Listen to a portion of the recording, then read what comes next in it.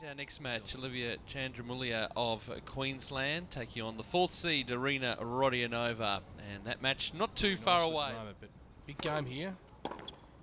Yeah, nicely done. Going back, wrong footing her.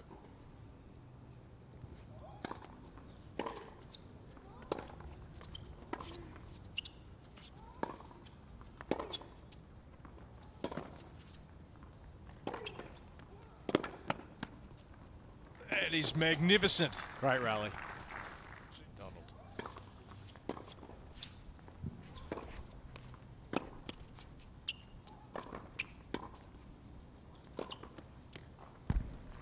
Beautifully done.